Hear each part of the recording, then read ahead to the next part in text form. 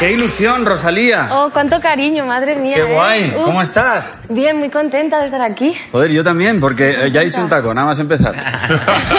bueno, está aquí el disco. Eh, tenía muchas ganas de conocerte. Igualmente. Porque- Igualmente, Yo soy fan sí. del programa desde, vamos, desde que David Bisbal iba por ahí cruzando una piscina. Ostras. De todavía que me acuerdo ya. Madre mía, eso es de los, de los primeros de la primera temporada. Llevamos 12 años Imagínate. desde, Lo desde tengo ahí. ahí, ese recuerdo está ahí siempre ya. Pues fíjate, no, no, eso no se olvida, David Bisbal caminando por encima del agua. exacto, exacto. Por encima del agua. Muy mítico. Bueno, pues yo estoy eh, feliz de conocerte. Yo te descubrí como en mayo.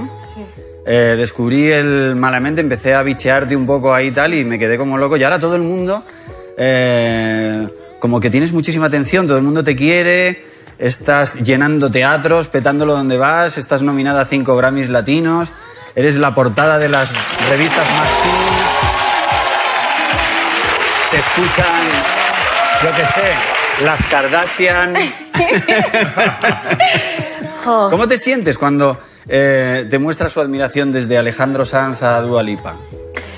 Pues a ver, yo eso lo recibo con mucho cariño, pero lo mismo que, que el cariño que me dan estas personas aquí cuando, cuando llego, ¿sabes? Lo mismo.